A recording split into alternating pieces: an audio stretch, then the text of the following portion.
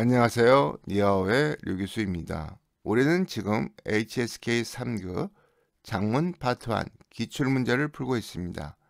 이번 시간의 주제는 겸유사입니다. 화, 꽃도 되고 소비하다도 돼요. 수수, 아저씨, 숙부죠. 콸, 원, 우리말의 원의 단위죠. 쓸 때는 도, 도, 지폐에는 이렇게 써져 있고요. 교과서에는 이렇게 써져 있을 가능성이, 그러니까 책에는 이렇게 써져 있을 가능성이 많아요. 그런데 구어, 입글에서는 이렇게 콰이를 써요. 화치엔 돈을 쓰다죠. 타양징 선글라스예요. 빨라 동사임을 알수 있죠. 동, 동태조사가 붙었으니까. 자, 더가 붙었으니까 명사 가져와야지 돼요. 뭐예요? 수수더? 900원이나? 선글라스죠.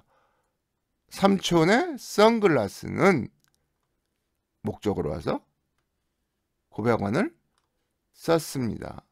900원을 주고 샀다는 얘기죠. 저 선글라스 900원짜리야. 이 표현을 이렇게 한 거죠.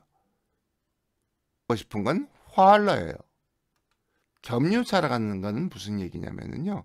중국어는 한 개의 글자가 여러 뜻, 여러 품사를 가져요. 영어는 동사만 2200개인데 중국어는 단어 8822개만 알아도 된다는 근거가 하나의 단어가 여러 가지 품사 혹은 여러 가지 뜻을 갖고 있다는 것 때문에 그런 거죠.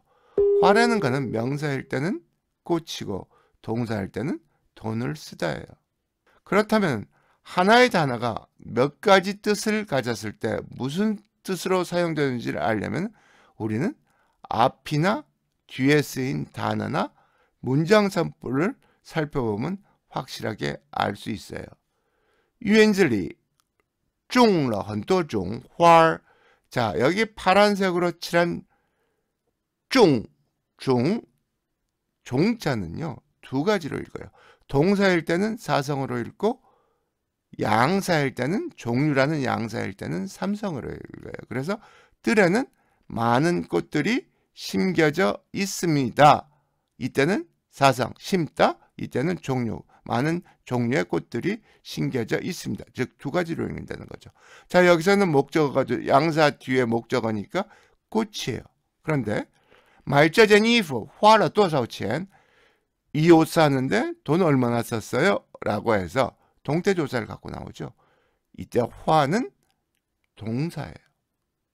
이거를 겸유사라고 그러는 거예요. 명사도 되고 동사도 되고 혹은 형용사도 되고 동사도 되고 뭐 부사도 되고 동사도 되고 이런 겸유사를 구별하는 방법은 앞뒤 어떤 단어가 왔느냐 혹은 얘가 문장 성분에 주어, 수로, 목적어, 관형어, 부사어, 보어 어떤 성분으로 쓰였느냐를 알아보는 것이 겸유사가 어떤 겸유사 동사냐 명사냐 형용사냐 동사냐 이런 것들을 구분하는데 도움이 된다는 거예요.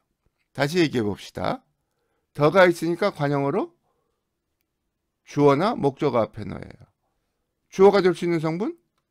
명사죠. 그 다음에 다른 명사는 목적으로 간다는 거죠. 여기에 동사 활러가 들어온다는 거죠. 그래서 삼촌의 선글라스는 900원을 소비한 것입니다. 900원을 쓴 것입니다. 이런 식으로 문장이 된다는 거예요. 여러분들이 한번 풀어보세요. 질문 있으면 댓글로 질문해 주세요. 가장 빠른 시간 안에 답해 드릴게요. 감사합니다.